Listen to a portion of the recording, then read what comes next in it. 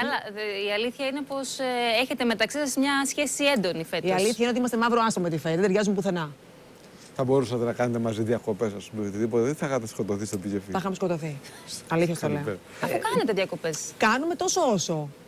Όταν ξεκινάει το πρόβλημα.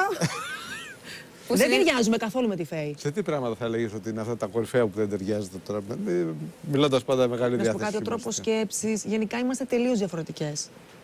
Να το Αλλά ίσως προσδιορίσουμε. αυτό είναι που μας ενώνει, ότι είμαστε διαφορετικέ. Προφανώς γίνεται μια χημεία. Ενώ με και... τον Γιώργο είστε πιο ίδιοι. Νομίζω πιο πολύ, ναι. Ρε παιδί μου, ας πούμε, είχαμε πάει με τη Φέη στην Αράχοβα, εντάξει. Και κάποια στιγμή ο Γιαννάκης του λέει: Ο μπαμπάς είναι κροκόδηλο, είναι κροκόδηλο, είναι κροκόδηλο. Πολύ Του ωραία. λέγε, συγγνώμη, δεν το Ο πεις. μπαμπάς σου είναι κροκόδηλο. Έλεγε, Και μα. αρχίζει ο Γιαννάκης και λέει: Μπαμπάς, είσαι κροκόδηλο, είσαι κροκόδηλο, είσαι κροκόδηλο. Ε, και τα πήρε η Φέη, μου λέει έξω, πλακωθήκαμε, μαλώσαμε.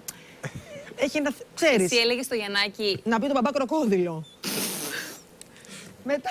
Ε, Τι είσαι, τεσσάρων χρονών είσαι. Έλα, μωρέ, εσύ τι είσαι, μωρέ, Θέμο. Και μετά Σωστό. έτρωγε μία μπανάνα ο Γιαννάκης και έκανε πάνω στο κρεβάτι χοροπηδούσε και καταλαβαίνετε τι έγινε η μπανάνα. Και έτσι κάνουμε και εσύ δίνεις στο παιδί μπανάνα. Ε, εκεί τρελάθηκε. Αν μου πεις, μου λέει εμένα, δίνω στο παιδί μου και εσύ που ξέρεις και τα λοιπά. και σε πυλοφόρο γύρισα στον Ιαράχοβα με άλλο αυτοκίνητο. Δεν με γυρίσανε. Σε, σε παρατήσανε, πού σε αφήσανε; Ε, γύρισα με τη Σουζάνα και τον φίλο της. Σε αφήσανε πού στην πίστα πάνω ή σε Με αφήσανε. άφησαν στο δωμάτιό μου και Α, μου λέει: ναι. Ολιά και εσά καλύτερα Α, να φύγει. α, μετά». Αράχο Βαθύνα δηλαδή, έγινε Ναι. επιστροφή με ένα αυτοκίνητο, μάλιστα. Ε,